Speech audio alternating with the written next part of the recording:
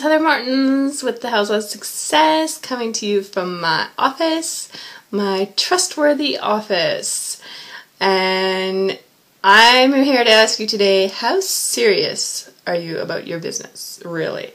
Are you treating your business like a hobby or a career that you're putting a lot of blood, sweat, and tears into and, and uh, seriously wanting to make a go of it? Because if you're looking at it as a hobby, well, take a look at what you're doing. For on uh, you know Facebook, are you really doing business strategies, or are you just playing like maybe um, I don't even know the name of it because I don't even play it. That farm one, Farmville, you know stuff like that. Are you wasting precious minutes, minutes, seriously, just doing crap on whatever?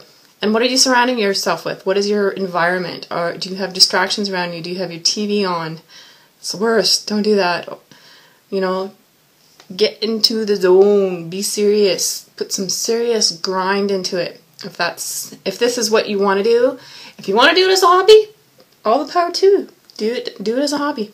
But if you want it as a business and you don't like the results that you're getting, take a serious look at what you are doing and maybe some things that need to be changed and you change them and you will see the results you want.